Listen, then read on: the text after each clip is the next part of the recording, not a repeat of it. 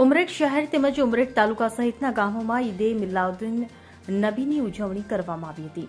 ગણપતિ વિસર્જનને લઈને ઉમરેઠ તાલુકા મુસ્લિમ સમાજ દ્વારા અઠ્યાવીસ તારીખને બદલે ઓગણત્રીસ તારીખે ઈદે મિલાદ ઉજવવામાં આવી હતી. બંને દિવસે અલગ અલગ બંને સમાજના તહેવારોની ઉજવણી કરવામાં આવી હતી. મહત્વનું છે કે ઇસ્લામ ધર્મના સ્થાપક હઝરતે મોહમ્મદ પૈગંબર સાહેબના જન્મદિનની ઈદે મિલાદ તરીકે ઉજવણી કરવામાં આવે છે.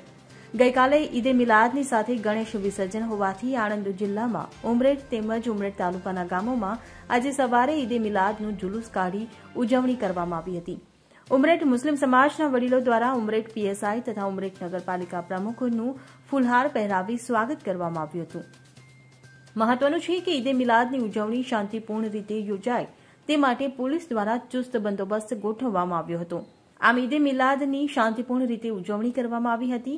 સાથે ઉમરેઠ પોલીસ દ્વારા ડ્રોન કેમેરાથી જુલુસના રૂટ પર બાજ નજર રાખવામાં આવી હતી.